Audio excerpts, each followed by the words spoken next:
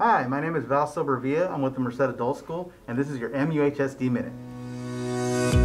It was Healthy Heart Week at Merced High as the site's MedTech students held a blood pressure clinic on campus. The event was a chance to gain experience for the students while spreading awareness of heart disease and promoting good heart health. Starting at age 10, people start developing plaque in their arteries from unhealthy diets, and by the eight, age of 18, people are at risk for um, heart attack and sudden cardiac arrest. We're trying to teach our students the importance of um, having a healthy heart and also teach them the risk factors that can lead to heart disease. A new class at Atwater High, also in the medical field, made the rounds on the local news. Miss Mahat's CNA course was featured in the Merced Sun Star as well as a couple of TV news stations. The class is a partnership with Merced College and provides students with the opportunity to earn their CNA license by the time they graduate high school. An art showcase was held at Livingston High consisting of works produced by photography students. The exhibit featured exercises in interpretation, perspective, and restoration. Students from other classrooms were invited to view the exhibit and give their feedback. Look for more showcases